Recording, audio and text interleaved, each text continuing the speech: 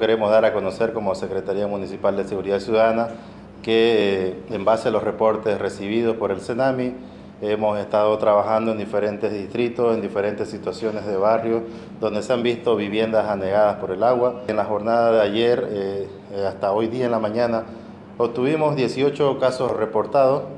más que todo del Distrito Municipal 8. En el Distrito Municipal 5, que es la zona norte de la ciudad, también hemos recibido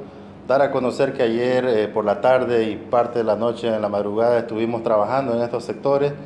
Ya las aguas están bajando de nivel. Para esta jornada se han conformado nuevamente cuatro equipos eh,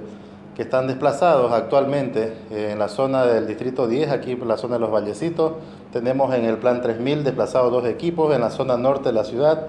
y un caso que tenemos por la zona de la Villa Primero de Mayo. Dar a conocer una vez más el número de emergencia que es 800-1250-50. También se está trabajando con maquinaria pesada en diferentes distritos donde están realizando limpieza de canales, están realizando el cuneteo de calles para que el agua que está estancada en ciertas calles y avenidas pueda circular por gravedad a un canal próximo. Queremos invitar a aquellas personas que aún tienen esta situación de emergencia en sus domicilios en diferentes distritos de la ciudad, que nos hagan conocer para que a la brevedad posible le brindemos toda la ayuda necesaria. Es importante también que todas las personas o familias afectadas que se ven hoy día eh, tengamos en cuenta a un futuro de que tenemos que tal vez elevar nuestros cimientos, elevar o rellenar nuestro patio, nuestra zona que es una propiedad privada, ya que eh, por parte nuestra a nivel municipal siempre le vamos a estar brindando el apoyo necesario, pero eh, según los reportes del CENAMI,